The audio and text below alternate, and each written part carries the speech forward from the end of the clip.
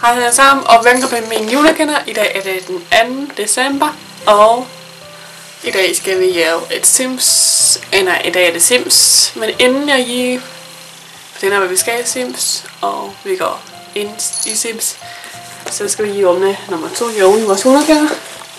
Så find nummer 2.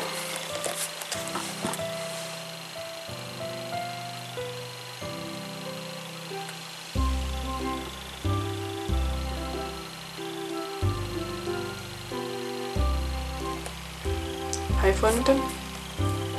Den gemmer sig lige hernede. Det er den med gåsen på. Så jeg ser, om vi kan åbne den. Altså, uden. Nu. Uh, det er en gave. En fin gave. Der er nogle af jer, der får adventsgaver. Nu ved jeg godt, at de ikke er advent, men det er det jo på søndag, så ja, det passer på en måde.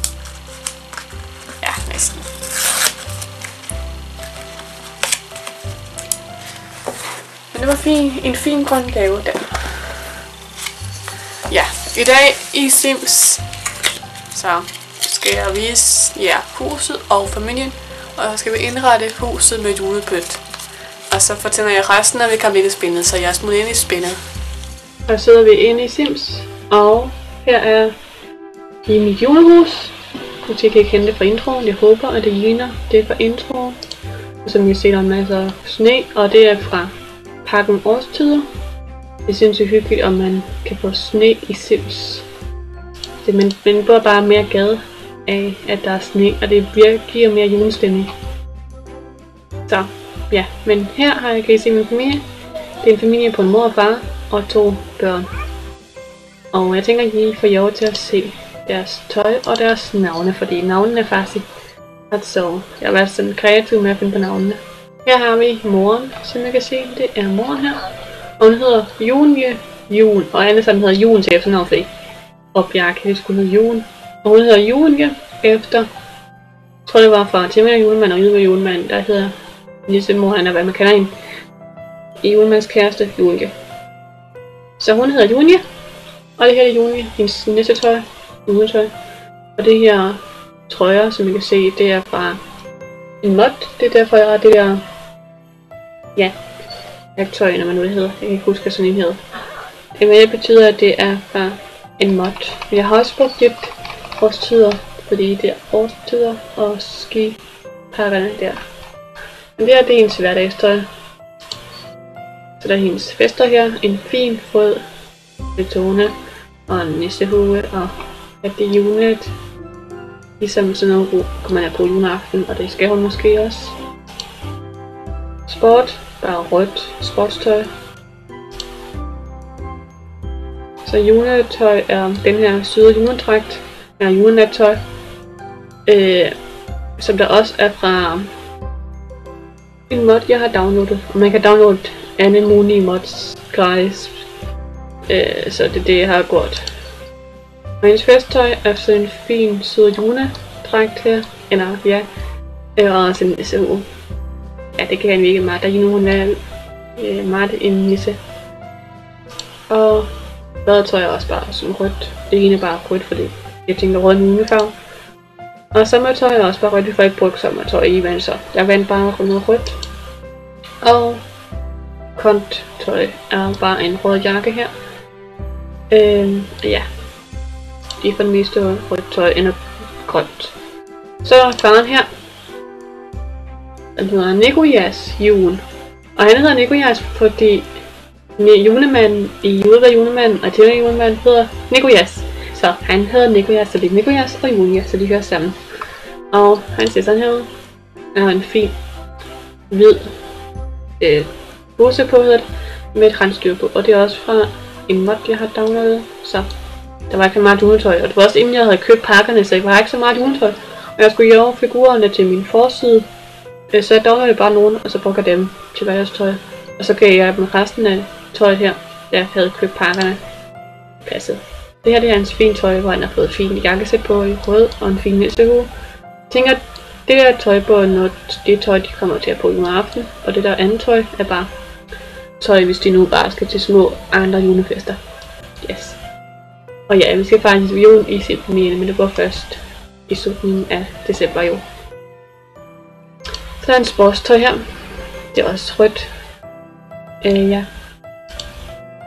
Og hans... Øh, det hedder nattøj. Og det var samme mønster, som moren havde, som I kunne se. Det her det er bare... Ja, skjorte og bukser. Men jeg synes, det er meget sødt, at de havde samme motiv på. Og så festtøj, der er også sådan bedå rød jakkesæt og en på igen. Og ja, badetøj og spørgende røde badebukser. Sommertøj er også bare en rød ja. Og vintertøj. Der har han fået øh, grøn jakke på og grønne steder. Nå, så er der deres søn. Ja.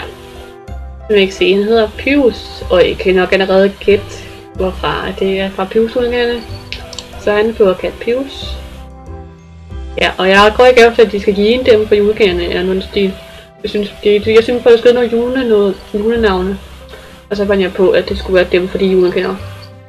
Ja, og så skulle navnene også hænge sammen. Yes, men det her det er Pius. Det her det er hans badetøj, sådan en, en bog sweater der -agtig. Ja, og så vesttøj har han sådan en fin, jeg ved det er ikke engang en skjorte med sådan en tyk trøje. Og så nogle dukker. Og sportstøj det er bare en grøn tråd og nogle røde bukser. Nattøj, som vi så før, det er den her øh, analyse på. Natsæt med juletræ på. Og ja, festtøj, der er den nærmeste samme som før. Bare med juletræer på. Til dem kan man desværre ikke give dem nisseure på. Men så er det sådan en mærkelig hatte, som er ikke så pænt. Lidt. Ja. Så badetøj er også bare røde. Badebukser. Og sommertøj er også bare sådan. Og vintertøj er en grøn jakke og nogle bukser. Så der er pigen her, som jeg godt skal gætte, hvad hun hedder. Og hun hedder nemlig Candice. Og det er også efter Candice i julegaden. Og hun har fået en fin.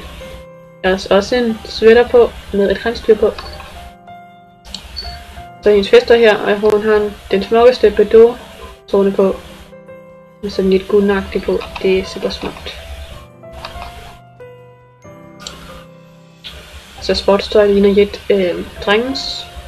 Eller søns, eller ja. Bare, ja. Der er hendes nattøj, og som I kan ikke mærke til, så er det samme mønster igen, bare en farve. Fordi jeg synes, det er meget sødt, hvis det er ens i nattøjet. Så det er hendes fester her, og jeg elsker det her festtøj. Øh, og i det I ser den her knold her, under har. Øh, men sådan en fin rød tone, og så nogle røde øreringe og en fin knold, men så fedt er den, der hører til pakken. Den er super sød. Ja. Den, når, den, den burde hun egentlig være på juleaften. Det havde jeg så ikke gjort. Ja, det var der, man pyt med det.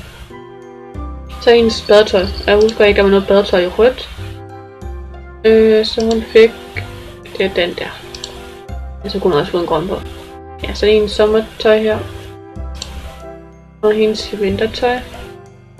Og ja, det var så det. Så nu må vi have nok komme videre med at indrette huset, men først får I over til at se huset uden julepynt først, fordi huset er selvfølgelig indrettet. Der mangler bare nogle julepynt. Ja, her kan I få til at se huset, inden jeg pynter det. Herinde er Pius' værelse, altså sønnen. Så er der et badeværelse der, og så er Candices værelse. Så er et badeværelse der, som jeg tror for andernes badeværelse, fordi der er nemlig en dør ind til. Øh, men så er også en dør der, så den kan komme i bagvejen. Men så det her på en børnenes badeværelse, fordi det er børnene. Det er sådan lidt soveværelse. Og så på den her soveværelse der, så er det et køkken med en spisestue, og så ender det et slags kontor, kan man godt kende det. Og så er stuen her. Yes, og så bagherren har lige nogle gynger, og så de så mørket. Det var, det var, ja. Og så også noget, jeg ved, jeg hedder sådan en der armegang. Så ude har de her fine jystræer, hvor der er jysket i. Og I så også udvendigt før. Der er også et julepind udvendigt, men det vil vi Men vi sætter nok lidt mere udenfor. Så jeg tænker bare, at vi starter med det samme med at pynte den her video for alle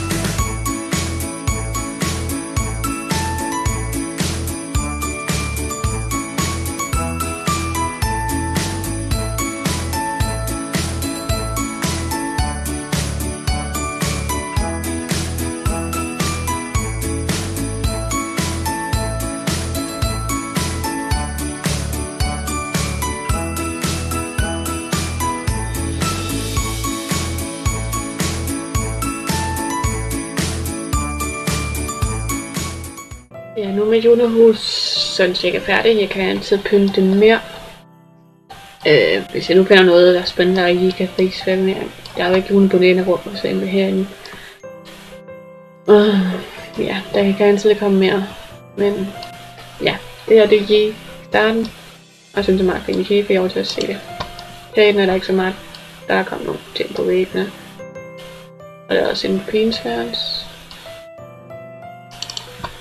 Ellers så har jeg farvet sengene røde, som I kan se. Her i køkkenet. Åh, oh, man kan nu prøve det. Her i køkkenet. Der er stop dog. Her i køkkenet er der kommet nogle juletærkner, og jeg sådan en jule. Det skal ligne lidt en opslyvask. Så herover så er jeg kagehusen, de kan jeg, det har gjort kagehus. Så ja, det har det egentlig ikke, men Yes, og så her ved deres spisebord, der har de fået nogle spine juleservietter. Og sådan en krans, det kunne jeg have været adventskrans til Background Music. Så over på deres sine skinker, hvad det er, der står der Xmas, som der betyder Christmas, tror jeg. Så er der nogle søde snemænd og nisser og nogle kranbæger. Så er jeg ude af en nødkækker. Og så er der en hylde her. Og jeg har sat nogle sådan lys og andre juleting.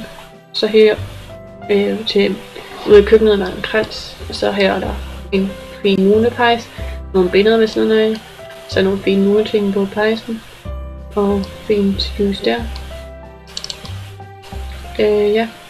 Ellers er jeg også lidt på dør, børne og vi øh, væggene. Og så hun, der også kommer en masse der kommer en nødkækker til, en rensdyr og en kæn, og en snemand og en snemand. Og ja, generelt er det super hyggeligt. Og ja, der er også kommet den der rundt om døren der. Yes, det er super hyggeligt. Og det er vist det, det burde for den her episode, for ellers så burde for Jan, så fortsætte med at snakke endnu gøre mere. Så ja, det er på mit julehus, og som sagt, så skal jeg nok pynte mere løbende, hvis jeg nu finder noget andet spændende at komme ind i huset. Det var at kunne pynte det. Men ellers så håber jeg på, at I vil følge med, og I synes, at det her er spændende. Nu kigger vi lige på den her lidt rundt. Men hvis I synes, det er spændende øh, med den her junefamilie, som der kommer til at gøre en masse june, hygge og juleting. Jeg har en masse, fundet på en masse planer, vi skal jule med den her familie. Så, til bare glæder jeg. Så er jeg på, I vil jeg give videoen og følge med. Og stop nu med at stå der i stedet for. Den er jo sukket i dumme. Undskyld. Nå, lige vart. Og hun skal det så. Nå. Men hvis jeg kunne give den her værk, så ved jeg ikke. Ellers så må jeg håbe, at folk går ned og abonnere til mig. Øh, det vil støtte mig og kanalen. Og så gør det også sådan, du ikke går glip af nogen af episoderne. Eller jeg dækker op, eller jeg op af mine kanaler. Og ja, ellers så håber jeg på, at I har haft en god 2. december. Og håber på, at I har det godt. hvis så på den anden hånd afsted på håndfødt, og at I sidder med en stor ben og man skal især være sød mod hinanden her i juletiden, så husk det, venner. Ellers ses vi. Jeg elsker højt, og jeg er meget glad for, at I følger med på min julekalender. Og ja, I de bedste. Jeg elsker højt. Hej hej. Glædelig 2. december og glædelig jul.